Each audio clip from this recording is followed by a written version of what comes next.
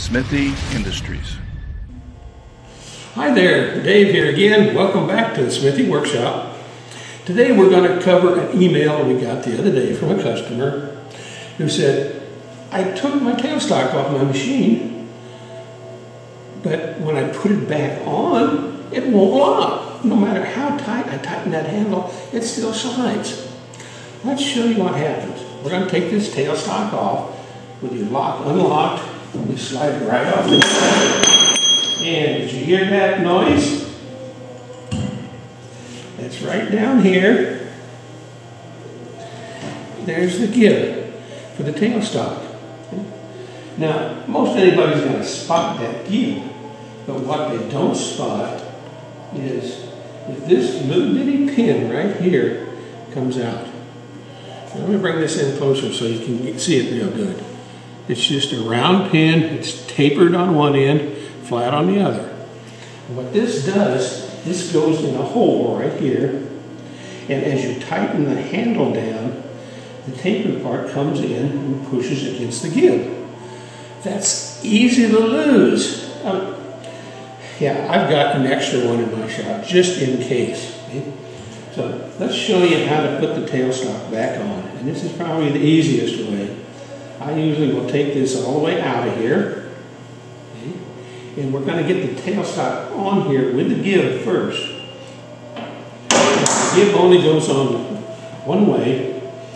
And you can tell when you get it on the right direction because it's flat across the bottom here. If you got it on the wrong way, you see how it sticks down? So let's get that gib into position. You can feel it catch in the little sheet metal screws. Oops. And stay, thank you. We're gonna sit it right here on the end. Slide it down carefully, don't drop it.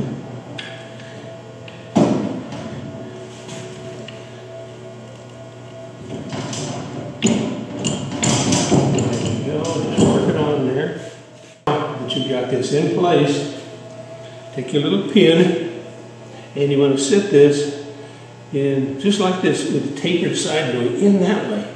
It in the hole. Let's push it into something. Just like that. There we go. And now you can screw this right down on top. Get it started there. Fumble with it a few times. There we go.